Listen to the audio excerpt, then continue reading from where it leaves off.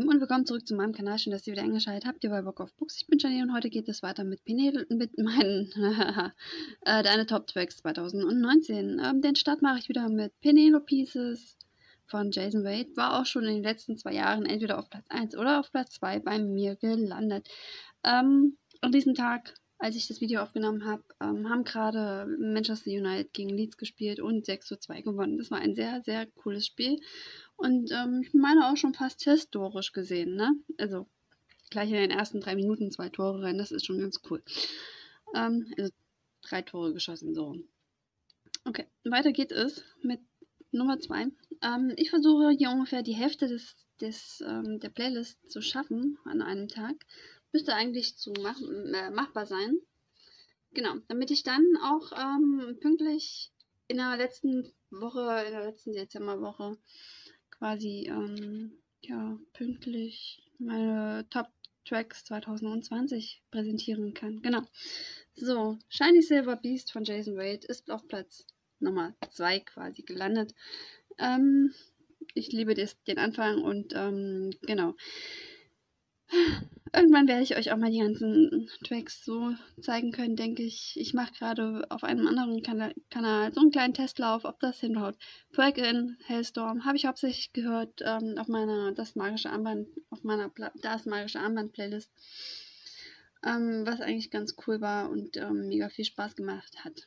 Ähm, und auch dazu passt natürlich. Ne? Es geht auch um starke Menschen und starke Frauen und durchbrechen und naja, das ganze Gedöns, was halt zu einem Song halt passt.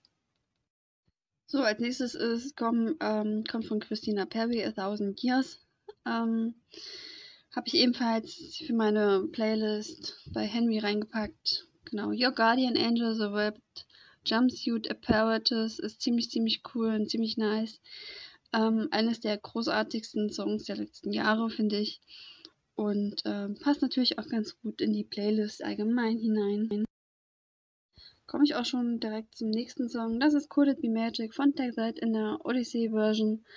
Ähm, Could It Be Magic ist von 1994 oder so, keine Ahnung. Ähm, und das war tatsächlich auch mein Lieblingslied von TechZ damals gewesen. Ähm, Habe ich rauf und runter gehört eine ganze Weile, auch wenn ich mehr die 17-Fan war, da zu der, zu, zu jener Zeit in den 90ern. Aber das hat natürlich auch ge, äh, war natürlich auch wunderschön, das Lied.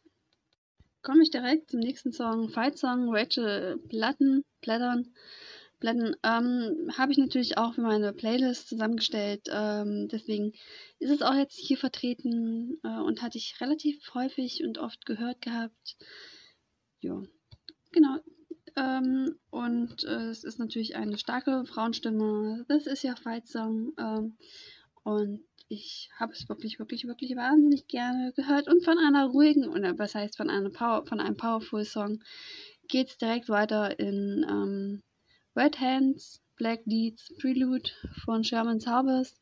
Das Lied ist so oberhammer mega. Das ist eines der besten Alben überhaupt. Ähm, genau, es, äh, Alben, Songs überhaupt. Es ist so wahnsinnig, wahnsinnig toll und ähm, der Anfang erinnert sowas von Vikings, an die Vikings, wo jetzt demnächst auch die nächste neue Staffel herauskommt. Ähm, wahrscheinlich, ich glaube, die finale Staffel müsste Vikings kommen, ne? Hm. Weiter geht es mit Corsair Call, 1000 Boot Quatsch. Ich habe übrigens Probleme tatsächlich mit dem TH, ST und SP. Ähm, schon während meiner Lehre wurde ich deswegen ziemlich ausgelacht, wenn ich mal Sprite gesagt habe. Also Sprite statt, ich weiß nicht, wie man es normalerweise ausspricht. Spreit. Sachen sagen die Leute Spreit. Ich habe keine Ahnung. Also ich sage Sprite, weil ich das einfach nicht hinkriege ansonsten. Genauso wie ähm, das T8000 ähm, spreche ich eben auch anders aus als, als, die, als die normalen Leute doofes Handy, ey. WhatsApp nervt. Ähm, und ähm, genau, oder als die meisten Leute spreche ich das TH eben ganz, ganz anders aus. So, das nächste Lied hat mich ähm, umgehauen, als ich es das erste Mal gehört hatte. Und zwar ähm, von Alpewell Breaking Down. Das Lied ähm, hat sowas von aus meiner Seele gesprochen. Letztes Jahr ähm, zur Leipziger Buchmesse 2019, ähm, da bin ich doch sehr nachdenklich geworden aufgrund von einigen Begebenheiten und von hochnäsigen Autorinnen und von oder Autoren und von anderen Sachen, die mich einfach nur noch gebancht haben. Und ähm, als ich das dann im April 2019 für mich entdeckt hatte, hat so richtig, hat mich richtig abgeholt. Es war, ähm, mein Tief war extremst. Und ich hatte auch überlegt, ob ich überhaupt zur Leipziger Buchmesse dieses Jahr fahren sollte, was es ja dann, was natürlich nicht geklappt hat, klar, Corona, ähm, aber ähm, ja, Abgesehen davon, ähm, Going Nowhere, Darren Chris ist ebenfalls ein sehr, sehr schönes Lied. Habe ich auch auf der einen oder anderen Playlist von mir reingepackt. William Young oder Will Young, all the songs. Ich liebe ja Will Young seit Evergreen. Ähm, total, seit 2002 liebe ich ihn ja. Ähm, und genau, ich muss, das, ich muss das Video jetzt übrigens nochmal neu aufnehmen, beziehungsweise das eingesprochen nochmal neu aufnehmen, ähm, weil ihr sehr, sehr kritisch bei mir seid. Sobald mal ein bisschen äh, Hintergrundrauschen ist oder so, ähm, seid ihr schon ziemlich, ja, ziemlich hart dabei. Äh, was tatsächlich nur bei mir äh, der Fall sei, zu sein scheint. Ähm, bei anderen ist es vollkommen egal, aber irgendwie kriege ich ständig eins drauf, wenn mal bei mir irgendwas nicht hinhaut. Aber gut, ähm, ich bin es ja gewohnt, ne, dass man auf mich draufhaut. Ich mache meine Videos übrigens ähm, mehrfacher Ausführung. Also Ash Remain ähm, Without You ist ebenfalls mega geil. Ähm, ich nehme das Video auf, je nachdem wo. Also entweder mit Kamera oder dann Screen. Dann wird das über UCut umgewandelt. Die Video, die Videos über Videokamera, über der Videokamera, die kann ich tatsächlich nicht anders bearbeiten, sondern muss ich erstmal umwandeln über UCut. Ähm, und über U-Karten nehme ich dann auch mein Gesprochenes auf, weil das einfacher ist. Dann werden die Sachen nochmal ähm, über die Noise ähm, quasi entrauscht. Und ähm, heute für heute Mittag habe ich das Ganze mit ähm, einer, einem Mikrofon aufgenommen, aber das ist ja unfassbar ätzend. Ich, ähm, Only a Memory Icon for Hire ist ebenfalls mega geil. Und dann ähm, werden die nochmal, ähm, nachdem die Noisen nochmal über Motion Ninja bearbeitet. Da kommt dann kommt auch das Intro, Outro hinzu und so weiter und so fort und ähm, noch so ein paar andere Gadgets, die ich reinpacke und ähm, genau so mache ich meine Videos. Das dauert alles übelst lange ähm, und ähm, ja. Deswegen lasst ein Like, ein Abo da, aktiviert die Glocke. Ich würde mich wahnsinnig freuen, wenn ich mal ein bisschen mehr Feedback bekäme oder wenn mal ein bisschen mehr ähm, Input kommt. Äh, genau. Weil dieses Miteinander statt gegeneinander, das funktioniert ja bei mir gar nicht, ne? Ich mache das ja bei anderen, aber ich kriege das ja eh nie ab. So, und da ich, ähm, da ich eh keine Zuhörer habe, kann ich das auch jetzt in diesem Video sagen. Und falls ihr doch zuschauen solltet, dann ähm, seid gegrüßt und erzählt mir doch mal etwas von euch. The Haunting, Set It Off, ebenfalls mega cool. Ich liebe den Anfang von dem Lied. Ich liebe die Band Set It Off. Habe ich auch sehr, sehr oft gehört. 2019 wahnsinnig oft. Ähm, und bin gespannt, was die weiterhin auch noch so rausbringen könnten und machen. Ähm, genau, es ist unfassbar toll, die, das Album. Unfassbar, unfassbar toll. Unfassbar echt. Ähm, das ganze ähm, Duality ist mega, mega cool. So, demnächst wird auch mein Setting so ein bisschen umgeändert. Ich bin gerade dabei, dass ich so mein Video-Setting ein bisschen, ähm, äh, ich sag mal, aufpimpe, ein bisschen optimiere, ein bisschen moderner mache. Genau. Ähm, Treat You Better, Throw the Fight. Treat You Better ist ja natürlich ähm, ein Shawn Mendes Cover. Ich mag ja Shawn Mendes wahnsinnig, wahnsinnig gerne. Ist ein großartiger Künstler und Sänger und was auch immer.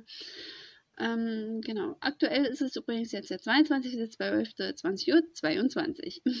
Wollte ich nur mal mit gesagt haben, ne? Hm. Genau. Eine sehr, sehr lustige Uhrzeit. Sehr, sehr lustig. Okay, weiter geht es. Ähm, wie gesagt, Treat You Better, das hatte ich auch schon 2018 in meiner Playlist gehabt, aber sehr, sehr weit hinten. Kam wohl auch ein bisschen später heraus. Und jetzt nochmal ein bisschen weiter vorne gerutscht. So, Remember Me, Caleb Hayes, ähm, habe ich ebenfalls für eine, für eine Playlist für das magische Armband reingepackt. Ähm, in der Schlüssel müsste es drin sein. So, Shinedown von, ähm, oder Brilliant von Shinedown ist tatsächlich auch auf meiner, bei meiner aktuellen Playlist, ähm, meine Fußball-Playlist auf Spotify, äh, glaube ich, Nummer 1, weil ich das als erstes reingepackt habe, weil das gepasst hatte. Genau. Ähm, deswegen passt das eigentlich jetzt auch ganz gut. Ne? So, was kommt als nächstes? Not Dead Yet, Ledger. Ähm, ich weiß nicht, ob das eine Hommage an Heath Ledger ist, das Ganze, oder ob sie einfach nur Ledger heißt. Auf jeden Fall ist es ebenfalls eine eindrucksstarke Stimme. Und das Album oder das Lied ist ziemlich, ziemlich cool. So, nachdem ich relativ unbekannte Künstler bis jetzt hatte, kommt dann doch mal ein Sunrise Avenue Lied. Ähm, Dreamer, okay, so unbekannt sind die Sachen nicht. Bill Young ist doch relativ bekannt hier in Deutschland auch. Ähm, aber Sunrise Avenue natürlich noch ein bisschen mehr. Die Finnen, ne? Aktuell hat ja ähm, Samu Haber mit Ray Garvey ähm, den so, also Voice of Germany gewonnen mit einer ähm, ja, ich habe den Namen vergessen. Es war jetzt nicht unbedingt mein Fallwort. Ähm, es geht mir auch alles viel zu lange, immer die, diese ganzen Sendungen bis 0 Uhr irgendwas. Es ist doch absolut blöd, wenn man am nächsten Tag doch früh raus muss. Gut, ich habe gerade äh, aktuell, ähm, ja, ist das nicht so der Fall bei mir, aber trotzdem stehe ich ja eh immer früh auf. Boss Fight, ähm, Not Giving Up, ist ebenfalls ein ziemlich cooles Lied mit einer tollen Message. Weiter geht es mit Alpaway Paranoid, ähm, Trauma aus dem Album Trauma. Ähm, unfassbar toll, ähm, unfassbar. Das ist, das relativ, es sind relativ wenig Songs von, von Alpaway dabei. Muss ich auch mal wieder hören, damit ich die 2021 mehr in meiner, meinem Release-Radar habe, beziehungsweise allgemein auch meinem Dingsen. Jacob Lee Heartstrings ist ebenfalls ein ziemlich schönes Lied, aber nichts geht über Alphaville aktuell. Oder in dieser Zeit. Auf meiner Suche nach Set It Off der Band habe ich ähm, Skillet gefunden und das Lied Set It Off, was aber keine Verschwendung meiner Zeit war, sondern eine ziemliche Bereicherung, denn das Lied und das Cover allgemein ähm, sind ziemlich, ziemlich beeindruckend und ähm, machen schon einiges her. Ne? Genau, als nächstes kommt ein Klassiker, also was heißt Klassiker, also relativ, ne?